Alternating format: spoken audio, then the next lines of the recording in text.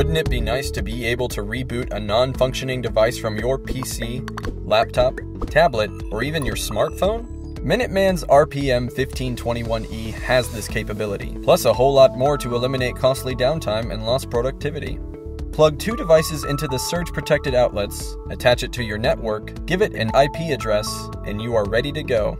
With an RPM 1521E, you can individually control AC power for two connected devices, including servers, routers, switches, modems, security cameras, wireless access points, and other mission critical equipment. After connecting Minuteman's RPM 1521E to your network, you can monitor and manage devices through a web browser or SNMP network management system. This useful power management tool can be programmed to send out automatic notifications warning administrators and users that a device has failed. These communications can be sent via secure email, SNMP trap, or text message. The easy to use browser based software puts power and control into your hands, allowing reboot scheduling, power startup sequencing, plus extensive setup and configuration, and numerous security tools.